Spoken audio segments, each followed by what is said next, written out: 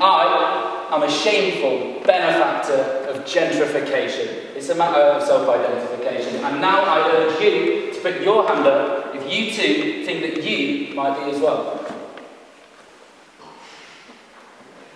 I appreciate your honesty. Step one, acknowledging that you are part of the problem. Step two, realising that you can be part of the solution too. Step three, throwing a brick through Foxton's window.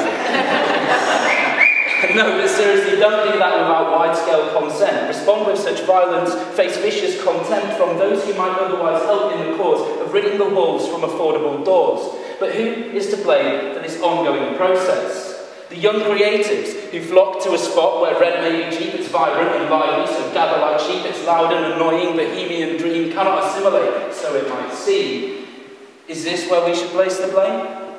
Well, what comes next? Not more of the same, no. Young professionals who read about this awesome place in the metro. They said it had loads of cool spaces for shopping and eating and trendy new bars, set up by the last guy who came with guitars, and now there's a buzz, so hop on it quick, because rent's going up, but this place is still sick. Can we blame them for wanting the best? But do they associate with the rest? I don't know. But I'm inclined not to think so.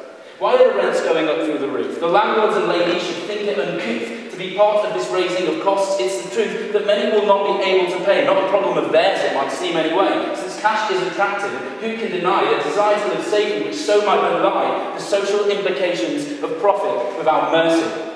Shall we blame them?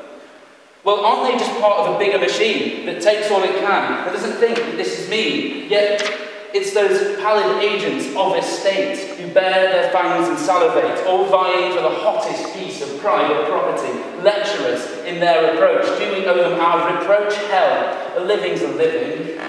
Facilitate destruction? Yeah, but further up the chain, something bigger lurks, with praying eyes that leaves a trail of paper, which litters a path that leads to destruction and subsequent reconstruction, with a consequent society reduction, as up goes another block of high-rise luxury living rooms with the sorts that say frugality is tasteless. Developing with haste is a complex mogul, a perpetrator of terrible acts who says, well, as you can see, there's a lot of work going on at the moment, so if you're going to level such a claim at me, then I'm afraid I'm going to have to redirect that towards the workers.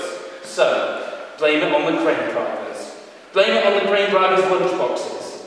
Blame it on whoever manufactures the crane driver's lunchboxes. Blame it on whoever manufactures the, the lunchboxes for the people that manufacture the crane driver's lunchboxes. Although actually, you know what, they manufacture their own lunchboxes. Right, that's it, it's the government's fault. Since they're the ones with power to prompt a change like a cleansing shower that will clean up the dirty business in the boardroom, shift the focus to community as a form of self-preservation, and generally make things a bit better for everyone. So let's tell them to do just that.